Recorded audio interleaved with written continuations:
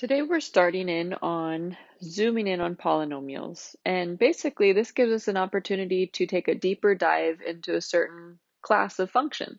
We've talked a lot about functions, we know certain properties, we know how to find things like domain and range, composition and inverses, but now we're zooming in on this particular category of functions. So we need to talk a little bit about what makes a function polynomial so that we can identify them and then in the coming videos, we'll be talking about the cool things we can do. So just real quick, in case it helps, um, I'm going to draw a goofy diagram because I like this idea. So, right, if I think about all dogs, I do love dogs. Dogs break down to different types of dogs. So maybe I'll just write a couple that come to mind. Labs, um, German Shepherds, my personal favorite. Shepherds, and how about Chihuahuas?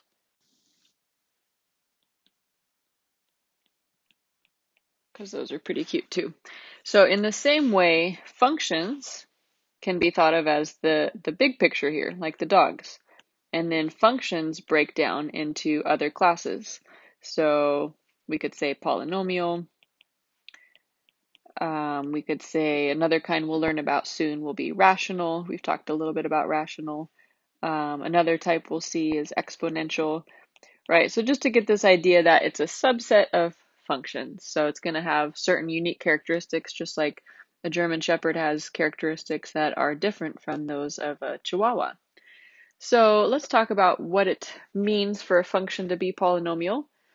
Let me go ahead and start by just writing out some functions that I, am sure you've all seen. And we'll see if we can find any unifying themes, any common characteristics. So I'm just going to write a bunch of functions and if you happen to have seen our toolkit functions handout, these will look strangely familiar. So I'm going to write a rational because we've talked a little bit about those related to domain. I'll write a radical.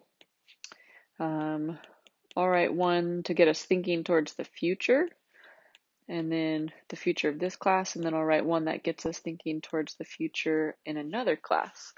So again, just a hodgepodge of functions.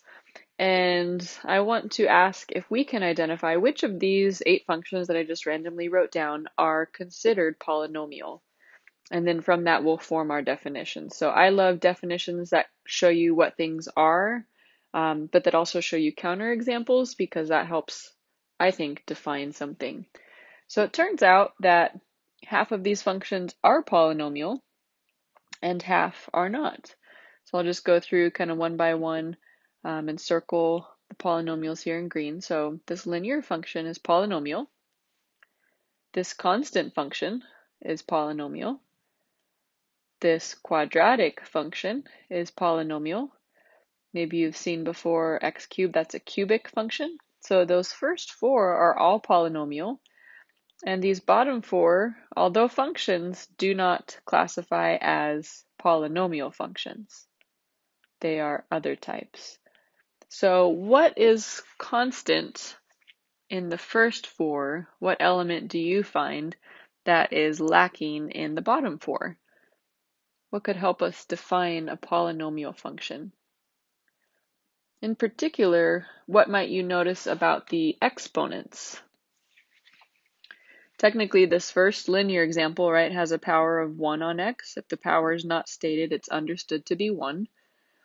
Um, for my constant function, maybe we're aware that x to the 0 power is the same as 1, so I technically could say that's really just constant times x to the 0. And then, of course, we can see the quadratic and cubics have powers of 2 and 3. The, the functions that I crossed out below, I'm going to use rules of exponents that may or may not be super familiar, but 1 over x you can actually write as x to the power of negative 1 because when you bring x to the first up from the denominator, the power just becomes negative.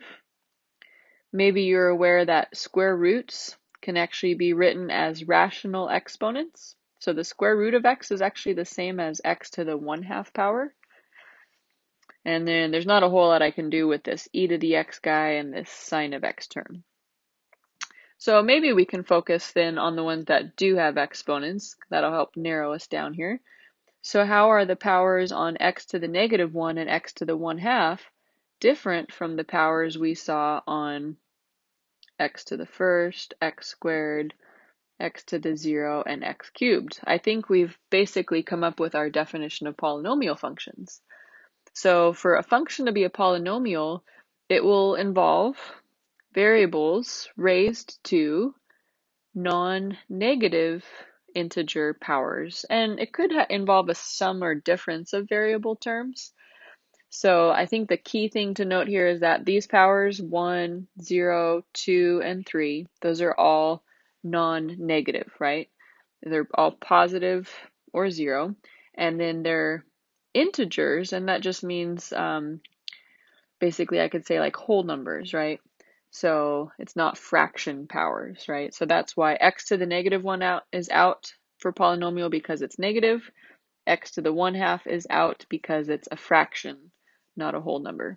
So let me write that a little bit more formally. Hopefully that discussion helped clarify in your mind what makes a function polynomial. So a little definition. So a function is polynomial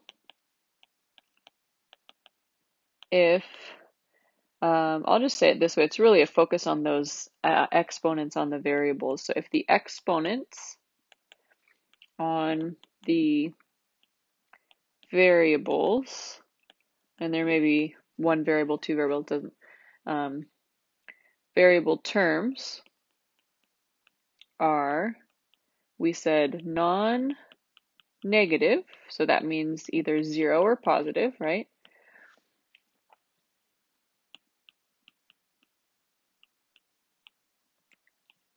And then we also said um, those powers have to be integers. So that means like not a fraction. That can't be simplified to a whole number. So hopefully that helps a little bit. Let's just do a couple examples and then um, we will call it good. So talking a little bit about these definite this definition, getting a handle on what makes a function polynomial. So dive on into a couple examples. Um, let's say is f of x equals um, 4x to the power of 9 plus 10x squared minus 1 a polynomial. Let's just answer the yes or no first. And then if we answer yes, I'll dig a little deeper. So check out the different terms here, right? We've got, in this case, a sum and difference of some terms. Um, and we want to ask ourselves, are the powers on the variable terms non-negative and integers? So how do we feel about 9? 9 is non-negative, correct? And 9 is an integer. 2, same deal. 2 is positive, right? So it's definitely non-negative. And 2 is, of course, can be written as 2 over 1, but it always simplifies back to that integer of 2. Cool. So yes, this guy is in good shape. No troubles. Um, this constant term at the end, remember what I did earlier, is you can write that as x times x to the 0. It doesn't change its meaning. So technically that term has a non-negative integer power also. Cool. So diving a little deeper into this example, a follow-up question that we could ask ourselves would be, um, can we talk about something called the leading coefficient? And can we talk about the degree of the polynomial? So, sorry, I'm struggling to get my screen to move down. It's the most frustrating thing about this app, so I do apologize. I often struggle. Oh, I think it's not letting me have any more space. That's it. Okay. Well, I will squeeze it on at the end here. So the degree and the leading coefficient. Okay. The degree is pretty straightforward.